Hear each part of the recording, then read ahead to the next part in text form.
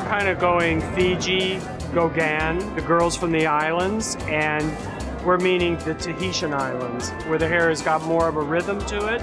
It's a little more oily, it's a little more subtle, and we're adorning the head with real flowers and flower wreaths, flower headbands. We're really making it its own thing.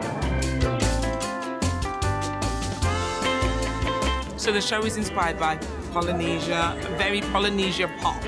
And we've done a burgundy lip and a little bit of eyeliner in the sockets of the eyes and the outer corners, and small, tiny little false lash, and fresh skin and little blush.